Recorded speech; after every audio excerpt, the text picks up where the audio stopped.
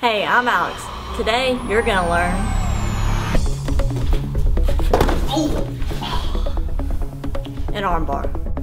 There are many different techniques to get you in position for an armbar, but today I'm just gonna show you the armbar.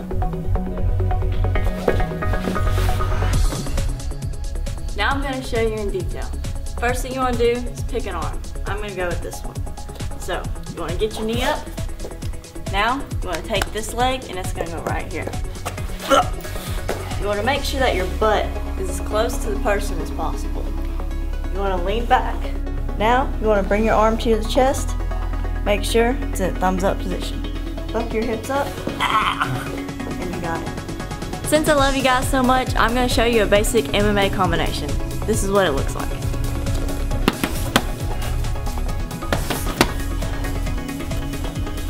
This is how you're to do it. You're gonna throw your left hand out or whichever hand's in front. You're gonna jab out with it.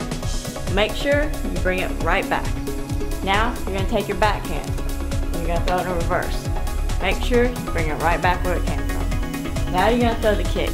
You wanna take this leg, step off to the side, and throw your kick. And bring it back.